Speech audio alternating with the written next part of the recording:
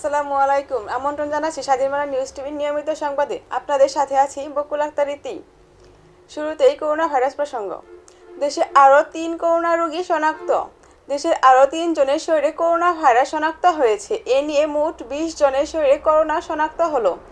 শুক্রবার বিকেলে স্বাস্থ্য অধিদপ্তরের অতিরিক্ত মহাপরিচালক অধ্যাপক ডক্টর নাসিমা সুলতানা সাংবাদিকদের সামনে এই তথ্য তুলে ধরেন। ডক্টর নাসিমা সুলতানা বলেন, বাংলাদেশে নতুন করে আরও তিনজনের শরীরে করোনা শনাক্ত করা হয়েছে।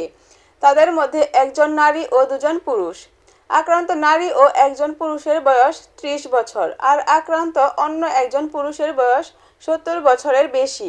তার অবস্থা আশঙ্কাজনক। তাকে নিবিড় পরিচর্যা কেন্দ্রে আইসিইউ রাখা হয়েছে। তাদের মধ্যে দুজন করোনা আক্রান্ত রোগীর সংস্পর্শে ছিলেন, যেমন কাটছে লকডাউন শিবচরের প্রথম দিন।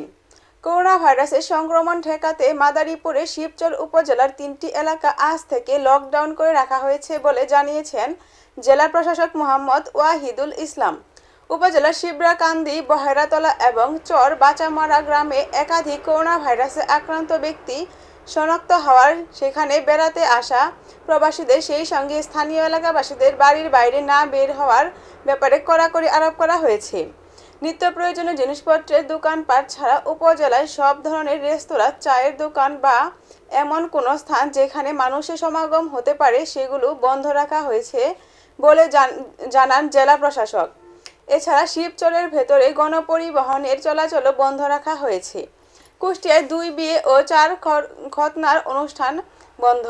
জাতীয় প্রেস ক্লাব বন্ধ রাখবে দশ দিন। করোনা ভাইরাসের বিস্তার রোধে জাতীয় প্রেস ক্লাব বন্ধ ঘোষণা করা হয়েছে। একুশ থেকে একত্রিশ মার্চ পর্যন্ত দশ দিন ক্লাবের সব ধরনের কর্মকাণ্ড বন্ধ থাকবে।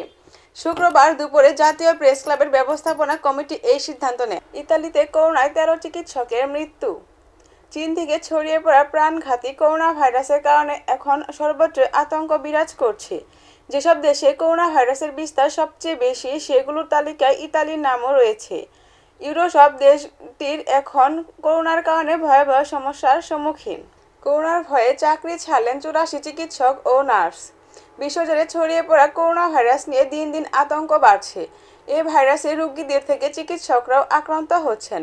এমন পরিস্থিতিতে যথাযথ সুরক্ষা উপকরণ না করার দোহাই দিয়ে চাকরি ছেড়েছেন বুলগেরিয়ার চুরাশি চিকিৎসক ও নার্স। এবার সৌদি আরবেও আজানে শব্দ পরিবর্তন। বিশ্বব্যাপী ছড়িয়ে পড়া করোনা ভাইরাসের কারণে আজানের শব্দে পরিবর্তন এনেছে পাকিস্তান, কুয়েত ও আরব আমিরাত।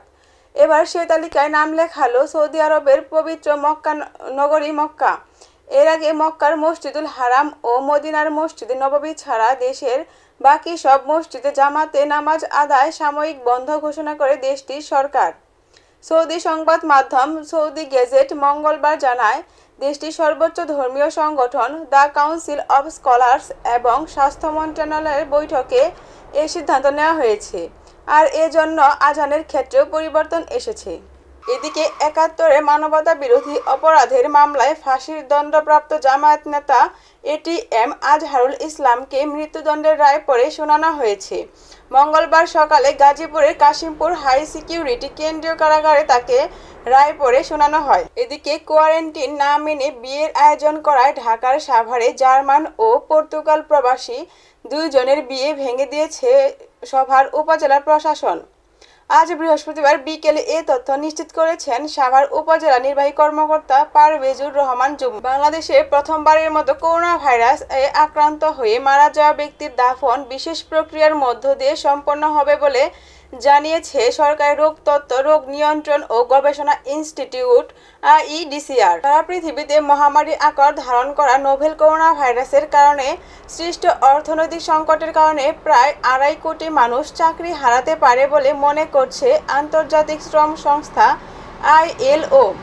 জাতিসংঘ সংস্থাটির এই আশঙ্কামূলক মূল্যায়নের কথা বুধবার এক সংবাদ বিজ্ঞপ্তিতে জানানো হয়েছে। যুক্তরাজ্য ভ্রমণ শেষে দেশে ফিরে কোয়ারেন্টিনে না থেকে বিভিন্ন অনুষ্ঠানে যোগ দিচ্ছেন সিলেট সিটি কর্পোরেশনের সাবেক মেয়র আওয়ামী লীগের কেন্দ্রীয় কমিটির সদস্য বদর উদ্দিন আহমদ কামরান। করোনা ভাইরাস প্রতিরোধে বিদেশ ফেরত সবাইকে চোদ্দ দিন হোম কোয়ারেন্টিনে থাকার পরামর্শ ছিল স্বাস্থ্য অধিদপ্তরের। পরে দেশে এ ভাইরাসের সংক্রমণ ধরা পড়ায় চোদ্দ দিনের কোয়ারেন্টিন বাধ্যতামূলক করে সরকার। অথচ পনেরো মার্চ যুক্তরাজ্য থেকে ফেরার পর প্রধানমন্ত্রীর সঙ্গে বঙ্গবন্ধু জন্মদিনে অনুষ্ঠানে যোগ দেন কামরান।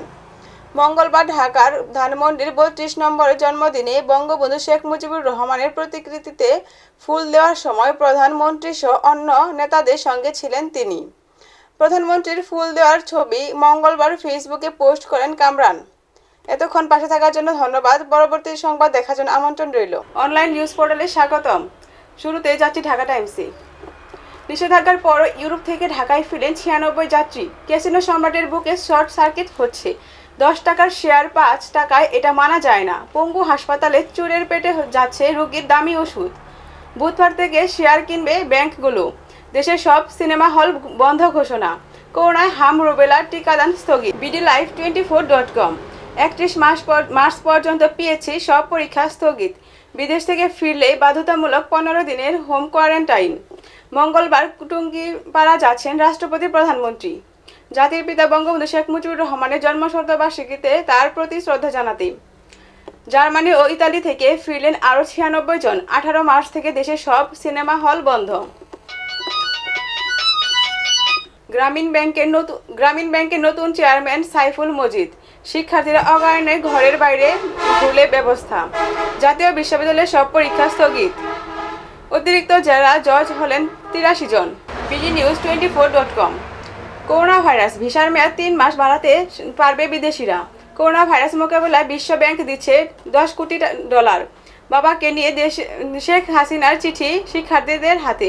ভারত থেকে একুশ টাকায় কেনা পেঁয়াজ ঢুকছে দেশে। হংকংয়ে করোনায় আক্রান্ত হচ্ছে পোষা কুকুর।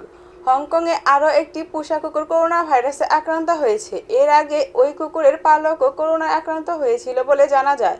হংকং সরকারের বরাত দিয়ে সিঙ্গাপুর ভিত্তিক সংবাদ মাধ্যম দ্য স্ট্রেটস টাইম আজ শুক্রবার এ খবর জানিয়েছে।